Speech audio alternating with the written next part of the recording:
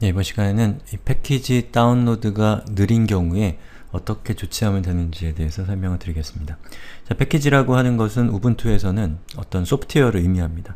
그래서 이 소프트웨어를 설치를 하는 과정에서 물론 여러분이 직접 소스 코드를 다운받아서 뭐 프로그램을 설치하는 방법도 있지만 대부분의 경우 이 네트워크를 통해서 검색을 해서 인터넷에, 인터넷에 있는 그 정보를 다운로드 받은 다음에 그것을 설치하게 됩니다.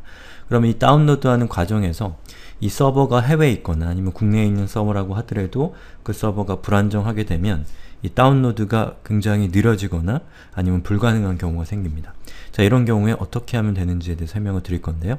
기본적으로 우분투는 이 카이스트에 있는 서버를 쓰고 있습니다만 이 카이스트에 있는 서버보다는 어, 제가 체감적으로 봤을 때는 다음 쪽에서 제공하는 서버가 빠르기 때문에 어, 서버를 이 패키지를 제공하는 이 저장소를 다음으로 변경하시는 것이 예, 유리하다고 생각이 됩니다. 자, 패키지를 이 GUI 환경에서 변경하는 방법에 대해서 예, 지금부터 설명을 드리겠습니다. 자, 우선 우분투 소프트웨어 센터라고 하는 아이콘이 이렇게 있을 겁니다. 이, 그 쇼핑팩과 같이 생겼죠? 요거를 클릭해보면 자, 프로그램이 이렇게 실행이 되는데요. 이 프로그램의 위쪽에 이렇게 마우스 포인트를 올려보시면 이 우분투 소프트웨어 센터라고 하는 이 프로그램의 메뉴가 이렇게 나타납니다. 그 중에서 자, edit로 간 다음에 soft, software sources라고 하는 부분 있죠? 요거를 클릭하고 여기서 download from에 있는 요 combo box를 클릭해 봅니다. 그러면 그 중에서 other라고 하는 부분이 있죠. 요거를 클릭하고 어, 여기서 여러분이 직접 대한민국을 선택한 다음에 FTP 다음 단넷 선택해서 추주 서버를 해도 됩니다. 이 제가 지금까지 체험한 바로는 이건 제가 틀릴 수도 있어요.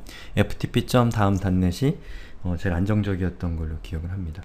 그리고 이 Select Best Server라고 하는 뭐, 버튼이 있는데요. 이 버튼을 이용하시면 여러분이 직접 서버를 선택하는 것이 아니라 이 내 컴퓨터가, 이 우분투가 직접 각각의 요 서버들의 커넥션을 해서 가장 빠른 서버를 선택해 줍니다. 이 방법을 선택할 수도 있고요.